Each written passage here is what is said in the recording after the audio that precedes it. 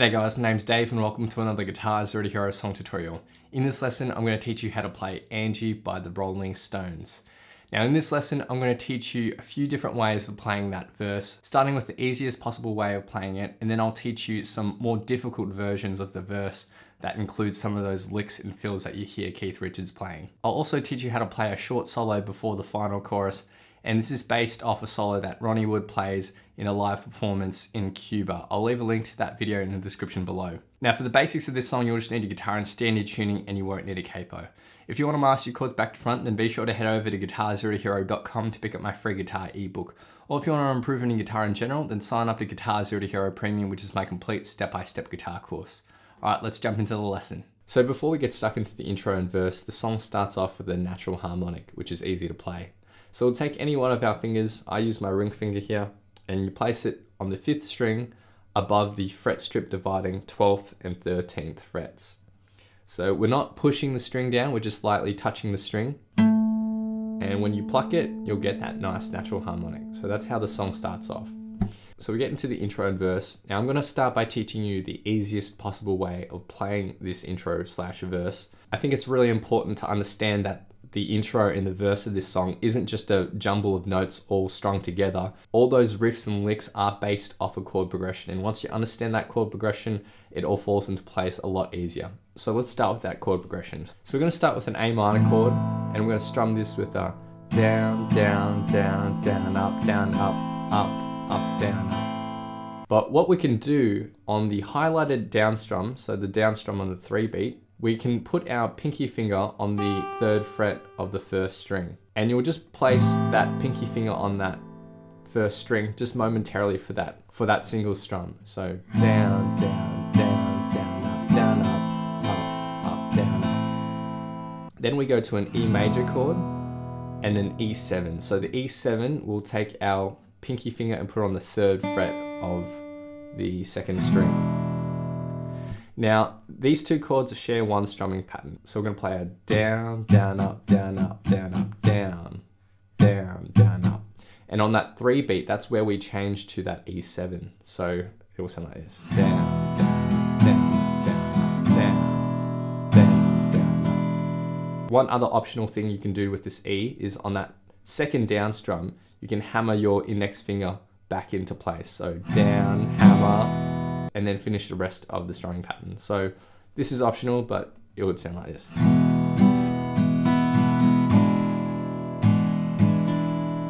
So that's the first line of chords which sound like this.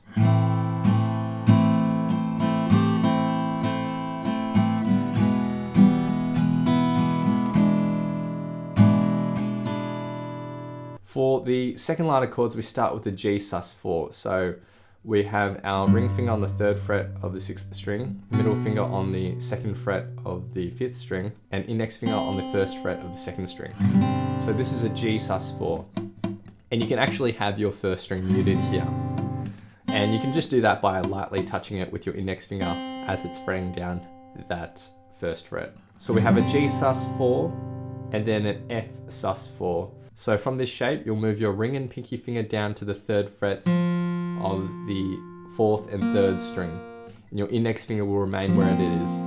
So we're just focusing on these three strings here. So that's F sus4 and then we'll go down to an F. So with your middle finger, have it ready here on the second fret of the third string. So F sus4 and on left your pinky and then we're on an F.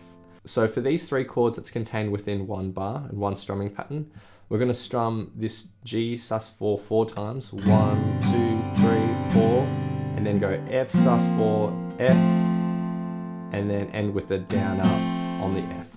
So one and two three and four and. Now for the final bar there's five chords here, so there's a lot of changes going on, and this is probably the trickiest part of this verse, but it sounds really cool. So we're gonna stay on our F chord from our previous bar, we're to strum that once and then play an F sus2. So you can lift your middle finger and that's now an F sus2. We play the same three strings and then we're going to play a C slash B. So keep your index finger where it is. Middle finger comes up to the second fret of the fifth string. We're going to focus on the middle four strings here. And then we're going to go to a C chord. So those first four chords are strummed once each. So one Now after we hit that C chord and we let it ring out for a little bit, on the end beat after three, we're gonna continue on with a down, up, down, up, down, up strumming pattern to finish the bar. And on the end beat after the four, we go back down to the C slash B from the C. So down, up, down, up, down, up. And the bar in total.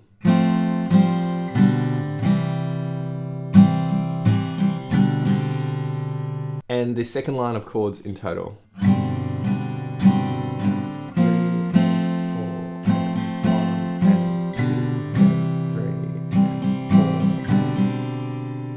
Put that all together and this is the easiest possible way of playing the intro slash verse.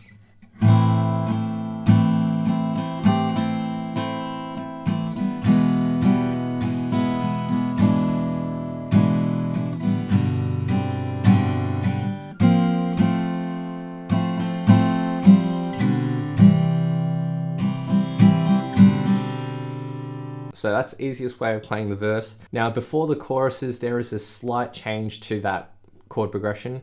Instead of going from our C to C slash B at the very end, we're just gonna stay on our C. So that's one little thing to note. Okay, so now that we've got the easiest possible way of playing the intro and verse out of the way, let's actually learn a more complicated version of the intro, which is more true to the studio recording. This isn't 100% note for note, but it's a hybrid of the actual studio recording and how Keith Richards plays it live. So for our first bar, we have our E minor, and we're going to be playing it essentially for the same strumming pattern in the simple version. So down, down, down, down, up, down, up, up, up, down, up. Now on that three beat, you do want to get that pinky finger on the third fret of the first string, just momentarily for that strum. So down,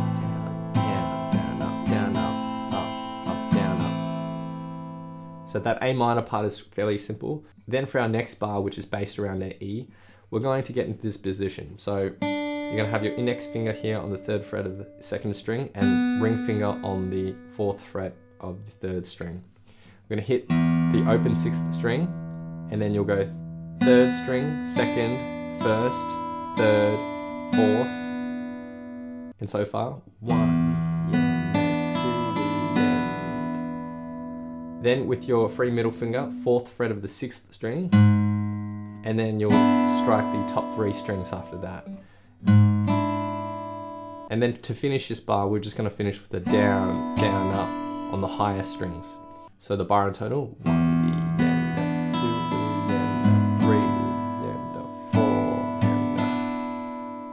and the first line of tab in total.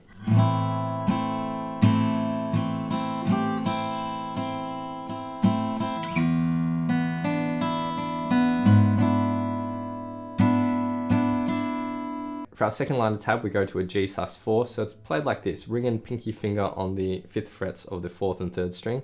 And your index finger will bar across the third frets of the first and second string. We'll start with that fourth string, hold it out for a quarter note, and then we'll go third, second, first, second, third, and, and with the fourth string. All the suggested strumming and picking directions are shown below the tab. They're just my suggestions, of course you don't have to follow them, but I think they're the most economic and easy to play. And so far, one, two, and. Then you're gonna slide this exact shape down two frets. So now this is an F sus four. We're going to strike those three strings and then go down to our F. So just lift your pinky finger and middle finger on the second fret of the third string. So three and four. On the end beat, we'll do a quick down up strum on this F. And that's it for the third bar, which sounds like this.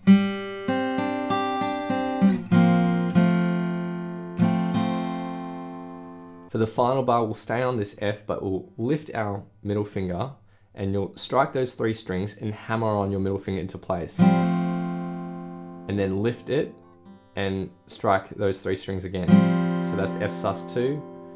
And then we'll go to our C slash B. So middle finger on the second fret of the fifth string. Keep your index finger where it is. And you'll just focus on hitting the fifth and fourth strings here. And then we'll go to a C chord. So ring finger then moves up to that third fret of the fifth string. So the first four plucks here.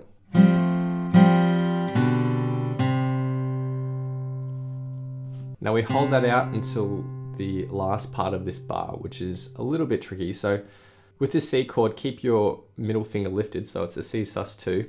You're going to start with a downstroke on the bass note and then an upstroke on the fourth string. Then put your middle finger down onto the C chord, pluck that second fret a downstroke and then an upstroke on the third string. So down, up, down, up, and then we go down to our C slash B, and then you'll pluck the fifth string and up on the fourth string. So it's a constant down, up, down, up motion with your picking hand. And the bar and title.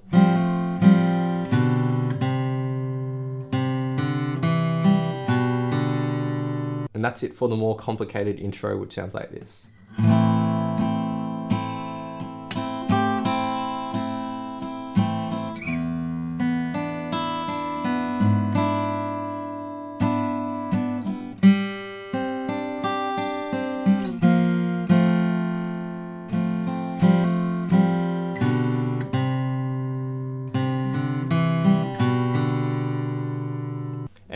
Faster.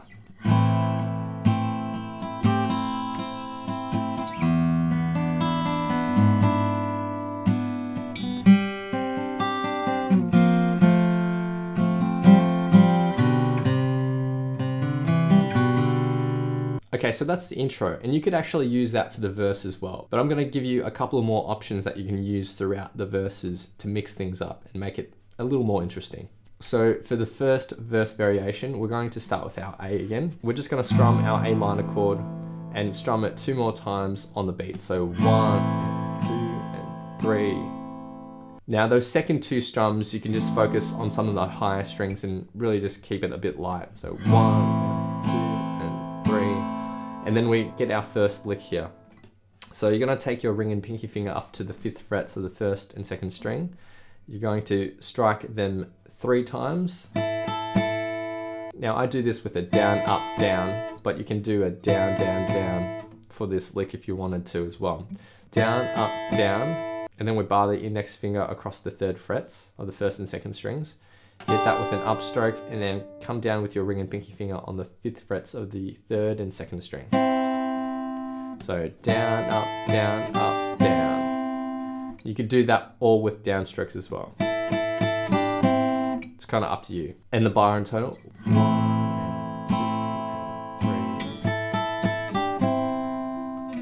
And then for our second bar, it's based around an E chord. So we're gonna hit the open sixth string and then we're gonna play this shape here. So index finger on the second fret of the fourth string, ring finger on the fourth fret of the third string, and middle finger on the third fret of the second string. And keep that first string open. Now on the two beat, we're going to strum this with a down, up, down, up, down, and then end with a down, down, up. So the second bar, one e and a two e and a three and a four e and a. Now ideally when you're playing this, you want to try to keep that fifth string muted as well. So you can do that by lightly touching that fifth string with your index finger as you're fretting down that second fret. Then we go to our G sus4. Now you don't have to bar the index finger here, you can just focus on that third fret of the second string. Ideally, if you can, reach your thumb over the top to hit that third fret of the sixth string as well. So if you can get that, start this bar off with that root note. But if you can't, just strum the fourth, third, and second strings, that's alright as well. But ideally hit that root note, and then we're gonna strum the fourth, third, and second strings twice and then move down to a G chord. So lift your pinky finger and put your middle finger down on that third string. So the first four plucks, one and two and then we shift down to a F sus4, hit that and then down to a F and then end this bar with a quick down up on that F. So the third bar.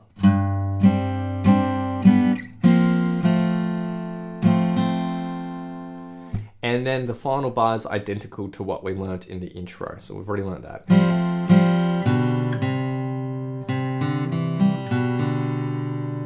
And we put that all together and this is verse variation one.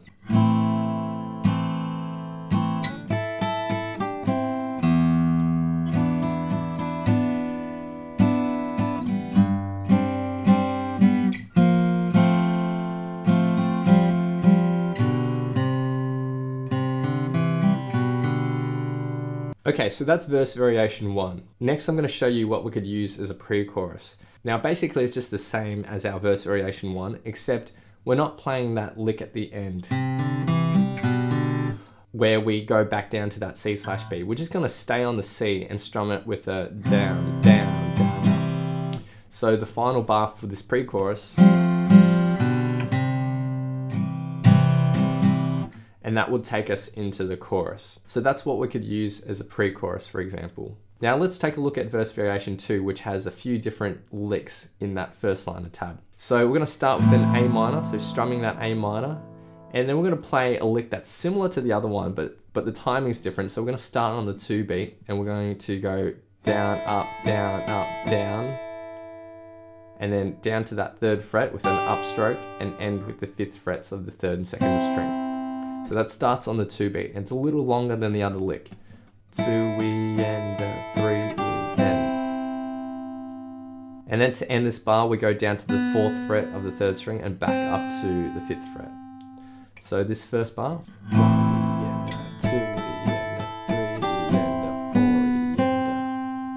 So this second bar is based around E, so we're going to start with our open sixth string. We're just going to have our ring finger on the fourth fret, third string, middle finger on the third fret of the second string, and keep that first string open.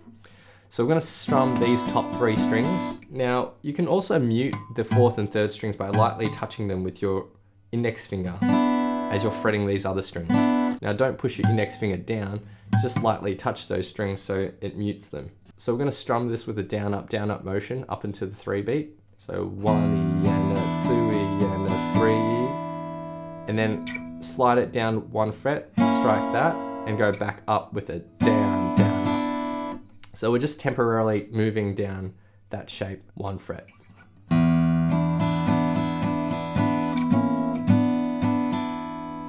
So that's the second bar. Now everything else is identical to the verse variation one, so it's just that first line of tab that's different here. So verse variation two.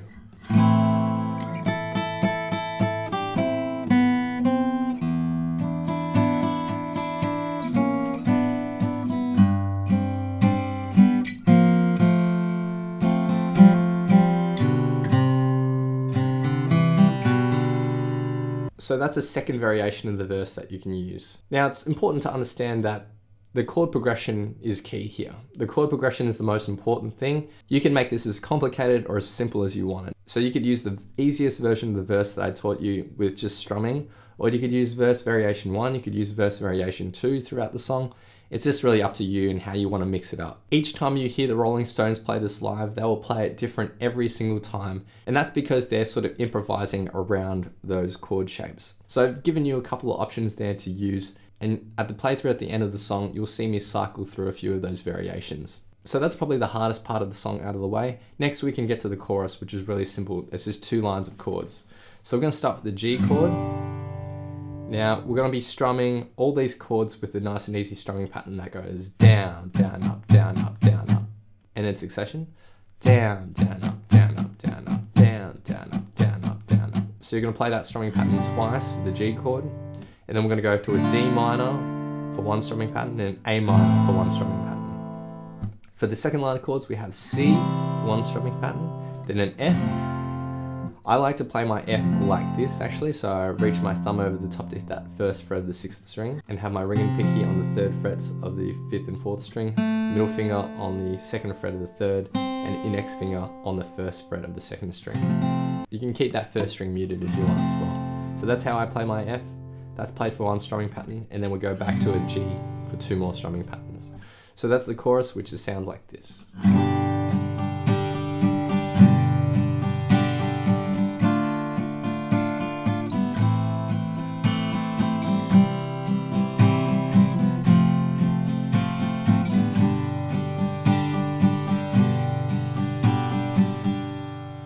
Now, if you want to mix things up a little bit, you can actually use a G add 9 instead of the G. So we have ring on the 5th fret of the 4th, middle finger on the 4th fret of the 3rd string, index finger on the 3rd fret of the 2nd string, and pinky finger on the 5th fret of the 1st string. And this is what you'll see Keith Richards play for that G chord.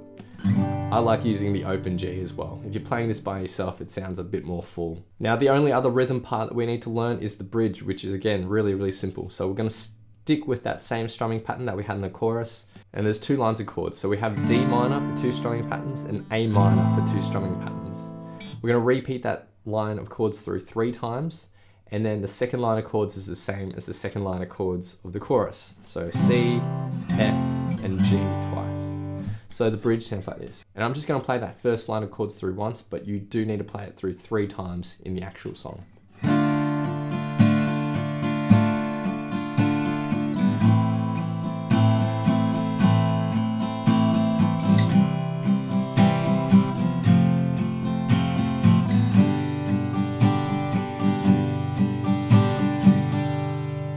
Okay, so now I'm going to teach you a nice and easy guitar solo that you can play just before the final chorus. Now this is based off a solo that Ronnie Wood plays in an awesome live performance that I found on YouTube. I'll leave a link to it in the description below. So for the first lick, we're going to slide up to the ninth fret of our third string with our middle finger.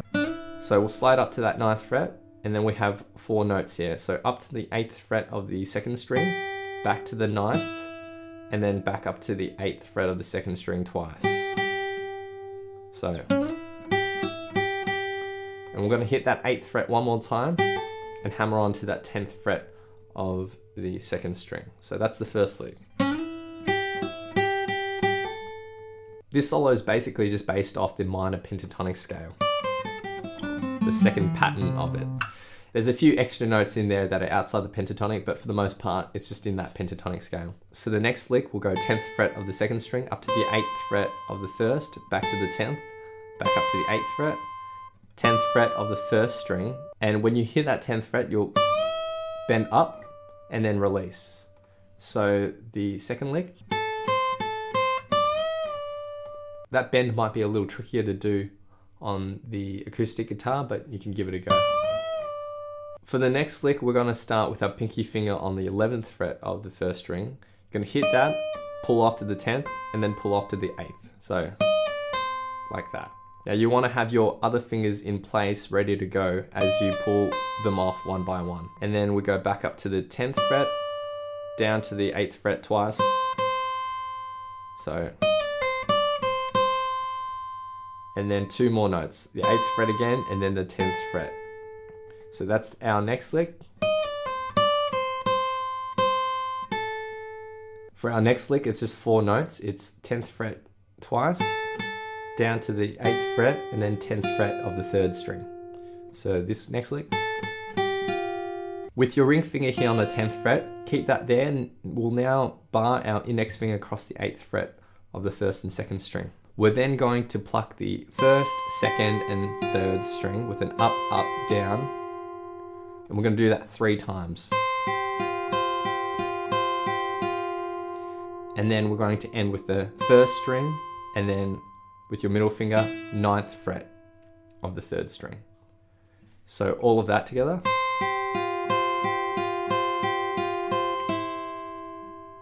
And from that first string pull off,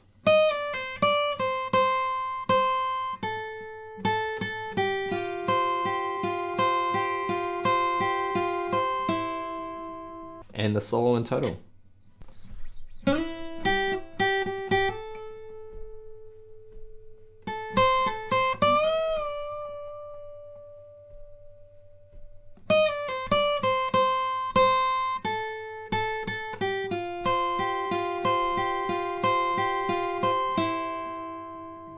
And that's it for a little solo that you can play before the final chorus. And that's everything you need to learn for this song. Again, the intro and the verse sounds a lot harder than it actually is. And the important thing to try to learn is that chord progression. And if you want to embellish it with some licks, then you can add some of that stuff that I showed you in the verse variations. Let's quickly talk about the structure of this song and how I will play it at the playthroughs at the end. For the more complicated version, this is how the structure is going to go. I'm going to start with the intro, then I'm going to play verse variation one, pre-chorus, and then the chorus. And then I'll play verse variation two, verse variation one, pre-chorus, and chorus. I'll repeat those four sections again, and then I'll have verse variation two, pre-chorus, and that's where you can actually add that solo in as well.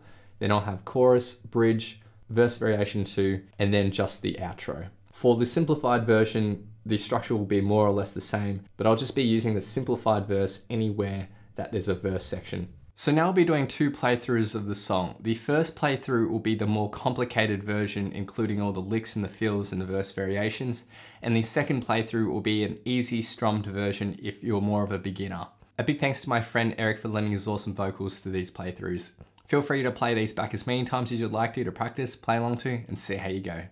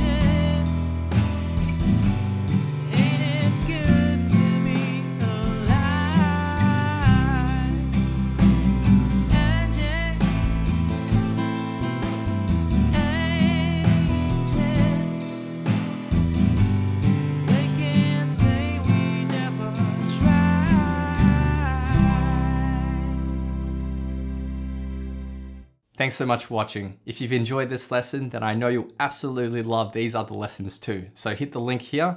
Or if you want to grab a copy of my free guitar ebook, then head over to guitarzerotohero.com or click the link here. Thanks so much, and I'll see you guys next time on Guitar Zero to Hero. Cheers.